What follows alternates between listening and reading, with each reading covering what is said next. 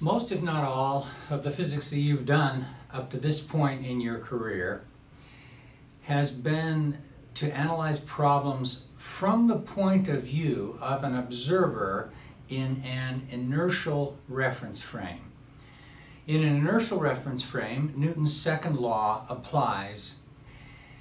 But it's important now for us to take a step back and ask what an inertial reference frame really is, because in this chapter, we want to try and analyze motion from the point of view of an observer in a non-inertial reference frame, because there's some fascinating physics that you can get from that. So definitions. An inertial reference frame is one that is moving with constant velocity with respect to the primary inertial reference frame. And what is the primary inertial reference frame? And that is one that is either stationary with respect to, not moving, not rotating, and not translating with respect to the fixed stars. So if we have fixed stars out there, and for the moment, let's forget about the fact that they're not really fixed. And let's just take their average positions, and, and then the inertial frame would be the frame of reference that is not moving with respect to the average position of these stars, nor is it rotating with respect to the uh, to these stars. So that's an inertial reference, uh, the primary inertial reference frame.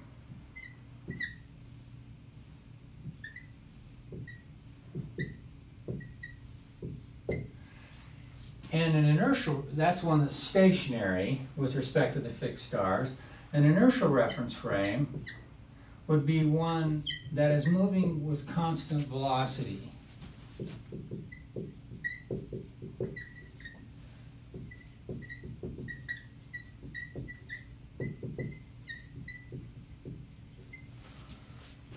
moving with constant velocity with respect to this uh, primary inertial reference frame. So it's important to point out here that we're talking about velocity, not just speed. So it can't be rotating with respect to this primary inertial reference frame.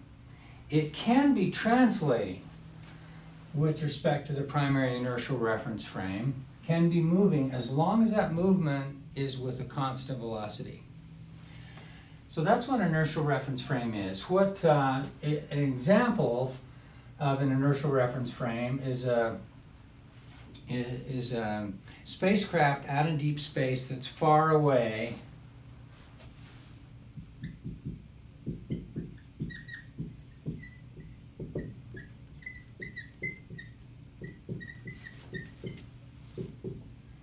That's far away from any stars or galaxies. So it's not subject to any gravitational acceleration or any forces that would cause it to swerve uh, from its velocity. So it could either be stationary with respect to the fixed stars, or it could be moving at constant velocity with respect to the fixed, fixed stars, just drifting through space at a constant velocity. That's an inertial reference frame. Here on Earth, there are uh, plenty of frames that are close enough approximations to an inertial reference frame. Um, so this would be example one. Example two would be a car driving down a straight road.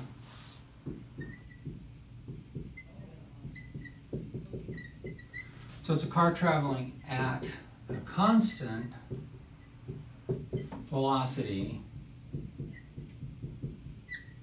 on a straight road.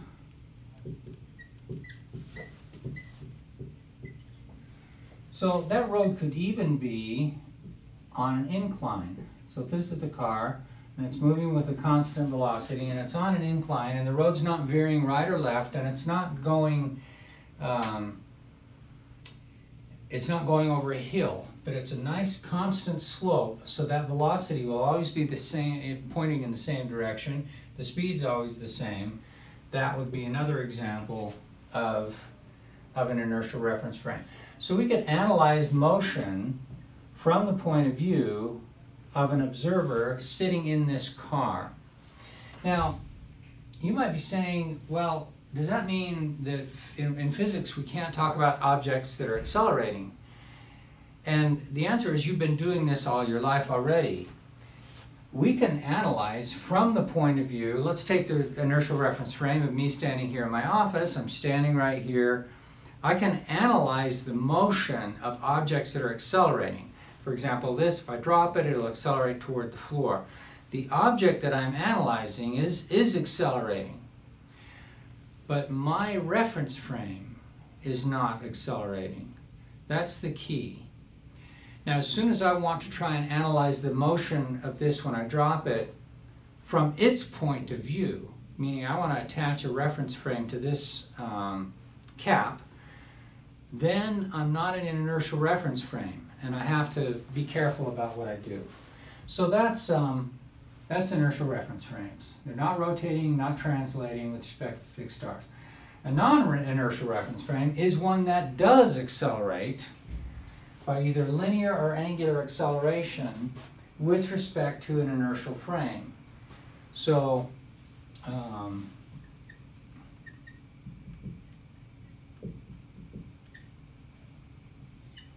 uh, example one would be a car on a straight road, but that doesn't have a constant velocity.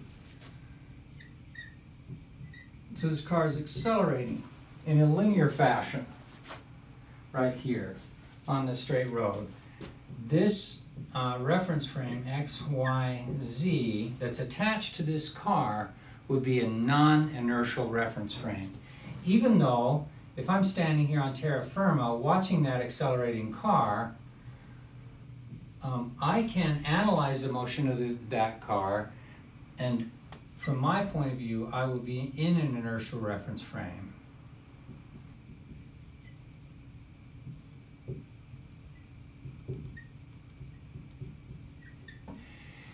And as it turns out, I can apply Newton's second law in this inertial reference frame in analyzing the motion of that car as I'm standing here on terra firma, and Newton's second law will apply. However, if I want to analyze the motion of the car or an object within the car from the point of view of a person who's in the car, then uh, Newton's second law does not apply. And one of the subjects, well, the main purpose of this chapter is to try and get a handle on uh, whether there are modifications to Newton's second law that will apply when observing motion within a non-inertial reference frame? The short answer is yes. We'll modify Newton's second law and find out what the extra terms look like in different frames. Now this isn't the case of translation, but in the case of um, angular acceleration, if we're rotating, for example, if you're um, going around a corner in your car, and this is the most concrete example, the velocity vector, even though you might be going at a constant speed, the direction of the velocity vector is changing. And that means that there's going to be an acceleration toward the center of that circle because you're moving in, in this case, uniform circular motion. Is that an inertial reference frame? Well, if I'm standing here on terra firma watching what's happening, this, um, this is inertial, my inertial reference frame right here, but the reference frame of the driver sitting in the car is non-inertial. And um, he will experience forces, and in this case, um, you're a little bit familiar with one of the forces that you feel. As you're going around this corner, you feel a centrif, it's called a centrifugal force. Um, it's a force that you feel that sort of pulls you out, away from the center of the circle.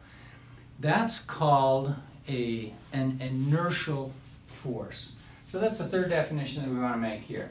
An inertial force is an additional force experienced by an object in a non-inertial frame. So for example, the centrifugal force.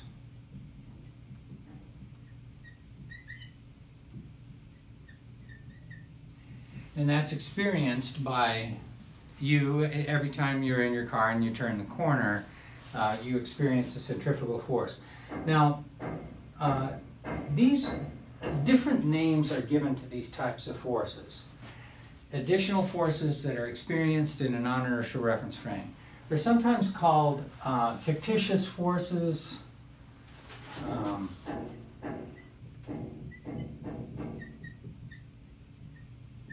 they're sometimes called pseudo forces.